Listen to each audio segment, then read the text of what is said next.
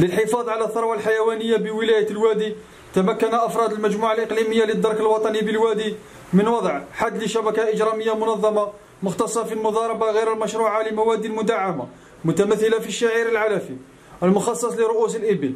وهذا بعد تحريات المحققين عن وجود خروقات وتلاعبات في استعمال العديد من الملفات الوهمية وأخرى دون علم أصحابها. أودعت لدى تعاونية الحبوب والبقول الجافة من طرف سماسرة للمتاجرة بهذه المادة المدعمة. التحقيق أفضى إلى تكبد الخزينة العمومية خسائر قدرت بحوالي أربعة ملايير سنتين إضافة إلى الضرر الملحق بالفلاحين والموالين الحقيقيين الذين لم يستفيدوا من دعم الدولة.